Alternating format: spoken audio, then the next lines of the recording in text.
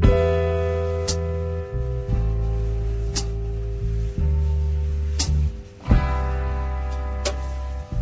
Celebrar eh, este acontecimiento, acompañar a María, acompañar a toda la familia de la María y sobre todo celebrar el Estado, como te decía, un Estado que restituye, que devuelve derechos, lo contrario a un Estado que quitó derechos, matando, robando, secuestrando, torturando y como va a ser eh, la devolución del ex de dos, lo que fue la dictadura cívico-eclesiástico-militar, que hay que aclararlo, porque fue una dictadura cívico-eclesiástica militar en donde muchos apoyaron, colaboraron, cooperaron para que esto se silenciara.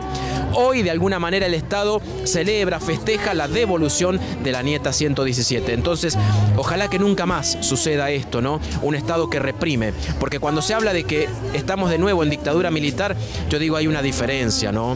Antes el Estado te torturaba, antes el Estado te secuestraba, antes el Estado no te dejaba opinar, no te dejaba leer ciertos libros, revistas, no te dejaba militar, no te dejaba salir a ciertas horas. A ver, hoy gozamos de libertad, de independencia y de un Estado que, como te decía recién, restituye y devuelve derechos. Doblemente alegría, primero por la nieta 117, siempre que aparece un nieto o nieta, felicidad porque es una batalla más ganada y doblemente porque es la nieta de María, es eh, una, abuela muy, muy, muy querida por todos los mendocinos, así que bueno, lo que nos da es una luz de esperanza y, esperemos que se contagie eh, todos los mendocinos para seguir buscando a los nietos que faltan, ¿no? Justicia no ha investigado este, porque se sostenía que no, que no habían nacido hijos en, cautiverio en Mendoza, bueno, y esto eh, da el, primer, el puntapié inicial para, demostrar que lo que decían los organismos, que lo que decían los familiares era la verdad, ¿no?